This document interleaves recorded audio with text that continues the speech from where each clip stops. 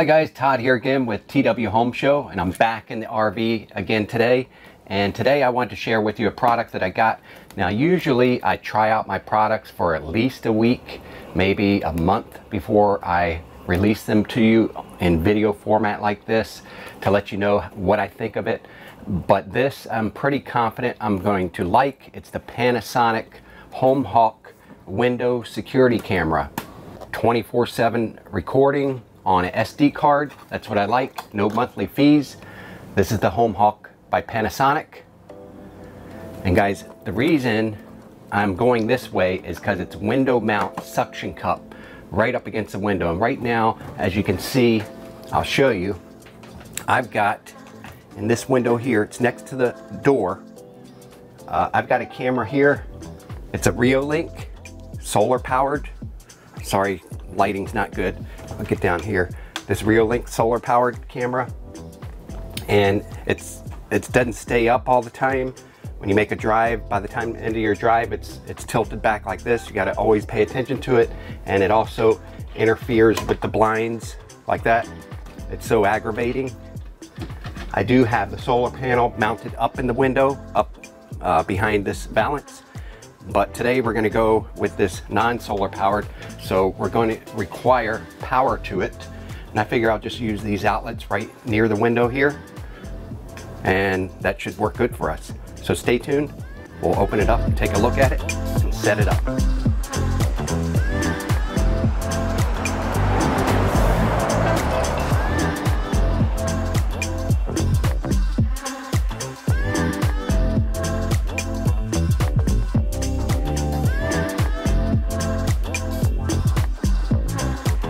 Okay, the Panasonic window mount camera. Information guides, manuals, power adapter cord, and I'm anxious to see how large this thing is or how small actually. I want it to be small. That's pretty much all you get in there. Here's the camera and it looks like a back cover for the camera. And uh, I think I'm gonna like this. It does seem kind of tiny for what it does.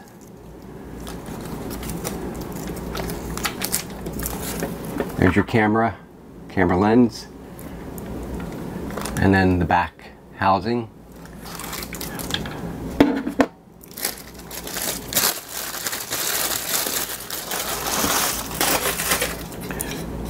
Back cover looks like it snaps on the back like that.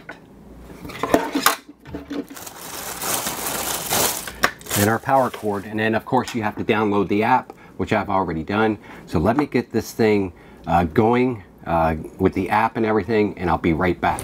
All right guys, I got the camera all set up with the app. I'm gonna now mount it. I got my old Reolink solar powered camera off of the glass and I've cleaned it really well. So we're gonna take it and try to align it up horizontally straight and then this lock tab right here, you're gonna push that down like that and it will pull the suction to the glass. To release it, you'll pull the lock tab back like that. So here we go.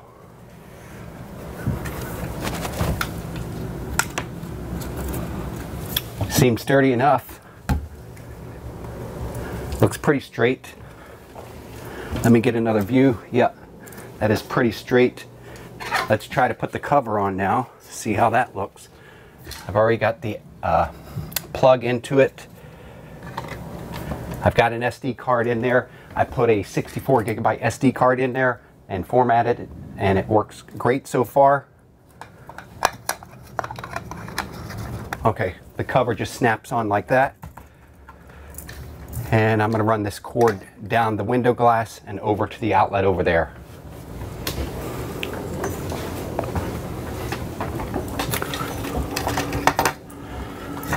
Now guys, uh, they also give you a couple of these little cord holders with 3M sticky tape on the back. So those will work out well in routing this cord. Oops.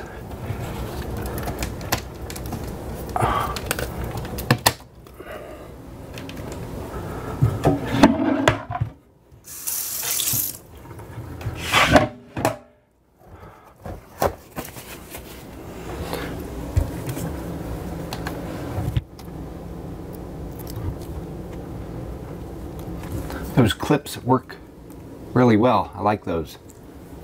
Nice touch.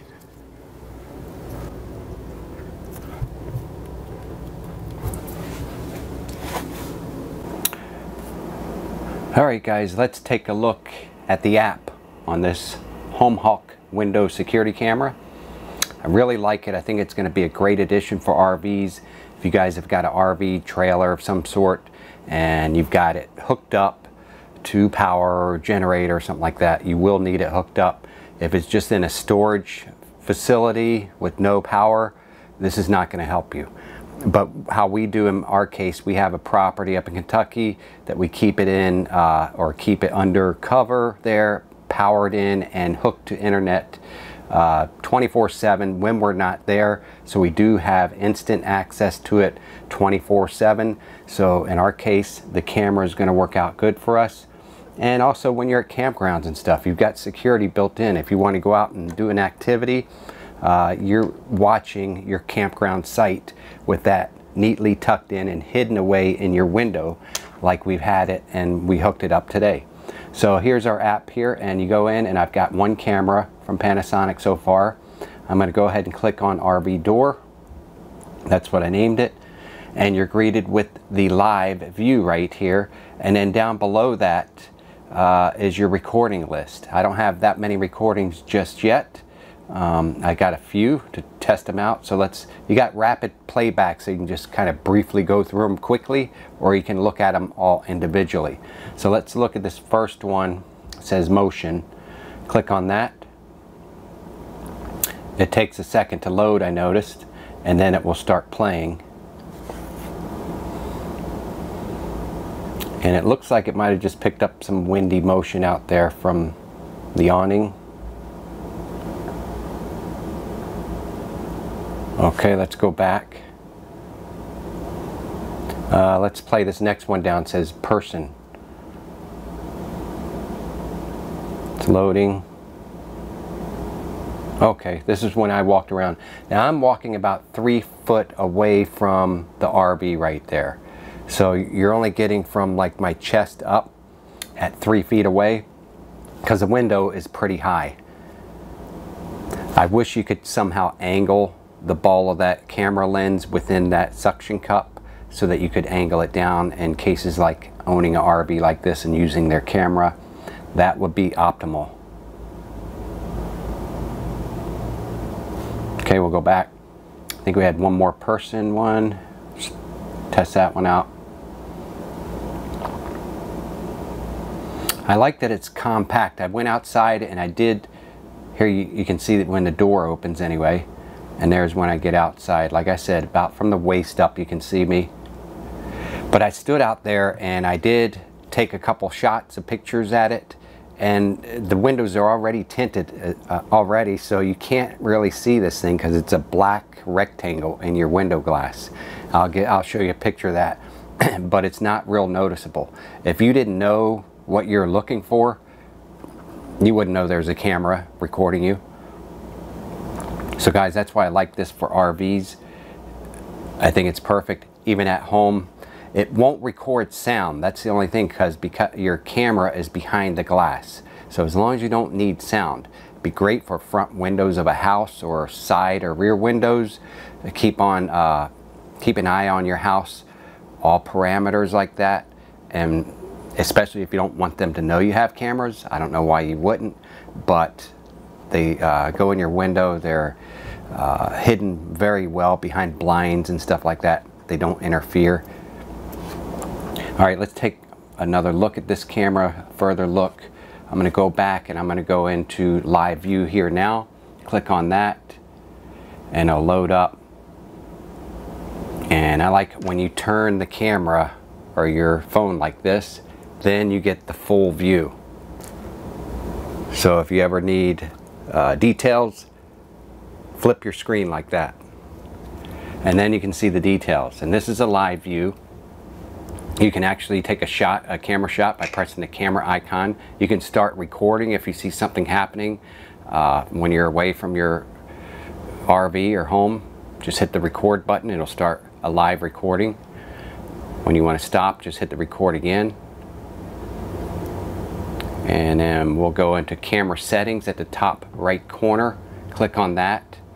And here's all your stuff, all the guts of this app and camera. First, you got the name of the camera. I named it RV Door. You got signal strength of the camera.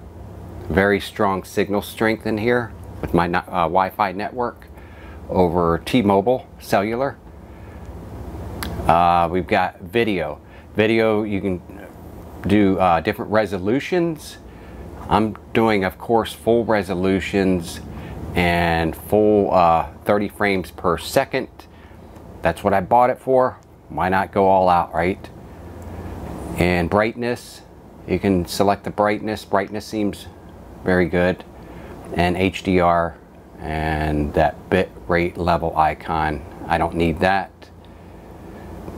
And recording settings, you can overwrite recording so it will continuously loop so it won't just stop after you filled up your SD card although I've got a pretty large size SD card at 64 gigabytes. I've already formatted. I suggest if you put a, a SD card in any security camera format it from that security camera's app. Don't format it on your computer first. It just sometimes you can get uh, flaws and errors so make sure every time you put a new SD card into a, a, camera, security camera, format it within their app, which I've already done. And you got notification settings, uh, recording error notification, mode change notification, uh, motion notification detections, uh, notifications can be changed from mode settings, okay. And you got detection right here. Now you can set a detection area.